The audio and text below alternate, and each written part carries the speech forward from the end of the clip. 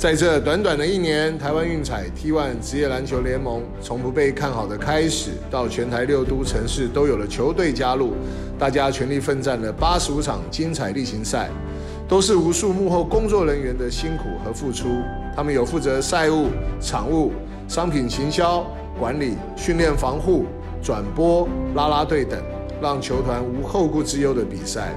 面对疫情的考验，我们各队秉持职业精神。决心奋战到底，各队的大家都将以更严谨的心态做好防疫跟一切的准备，全力把这季后赛做到最好。希望带给球迷有更棒的观赛体验，球员们有更安全的比赛环境。现在比赛即将重启，各队的工作人员都已就位，球场的灯光即将点亮，就等六队再次上场。